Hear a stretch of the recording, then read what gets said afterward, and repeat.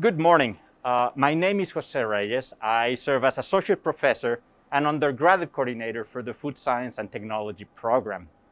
I teach several courses. By training, I'm a chemical engineer, so naturally, I teach courses in food processing. I also teach two courses in chocolate. One of them is the first year of this seminar, Chocolate Science, and the other one is a study abroad in Costa Rica that I call Chocorica, the science, history, and culture of chocolate. And talking about culture, actually, I recently developed a new course which is part of our core curriculum. It's a course uh, that is called The Impact of Food in World History and Culture.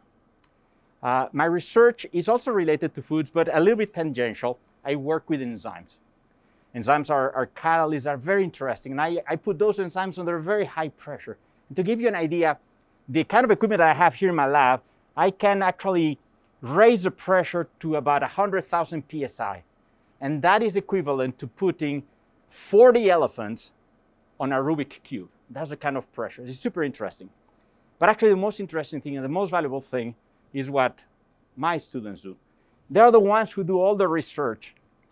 And actually, research, to me, the, the greatest thing about research is that we gather students from all over the world to work on a single problem.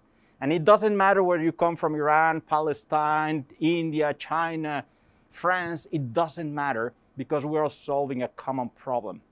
And as food scientists, we address actually one of the greatest challenges humanity faces, which is food insecurity and hunger.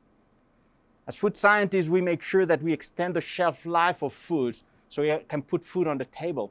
But most importantly, once we have put that food on the table, what we're able to do is bring people around the table. And that's why food science and our research and our teaching matters.